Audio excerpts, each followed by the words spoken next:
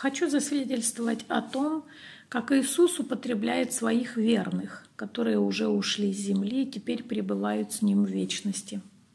До того, как я узнала о пути ученичества с Иисусом и встала на него, я более десяти лет была в церквях, созданных людьми. Слышала очень много проповедей и свидетельств, но ни разу не слышала подобного этому свидетельства. Пару дней назад я узнала о том, что одного нашего брата во Христе был сон, в котором он ходил по красивому холму вместе с братом Яном Бошефом, который уже находится в вечности с Господом. Брат Ян много чего говорил нашему брату, но из всего он запомнил только то, что должен держаться Иисуса. Я была поистине очень удивлена тому, как Иисус продолжает употреблять своих верных слуг и после их ухода с земли для ободрения и укрепления своей невесты на земле. Я написала об этом сестре Кристине Бошев, жене брата Яна. Каково же было мое удивление, когда она написала мне в ответ следующее. «Спасибо, что поделилась, просто замечательно.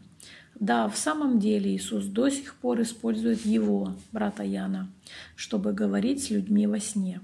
У меня была женщина, которая написала мне в Facebook и сказала, что брат Ян ходил с ней и сказал ей, что она должна следовать только за Иисусом его путем и искать истинных братьев и сестер, потому что многие из них подделки. Другой сестре тоже приснился сон, в котором брат Ян сказал ей сосредоточиться на Иисусе. Другой сестре приснился сон о том, как он предупреждал ее семью о вирусе ковид в естественном и духовном. Брат тоже видел сон о нем, и он чем-то делился с ним. Слава Иисусу! Он всегда верен. Иисус удивителен.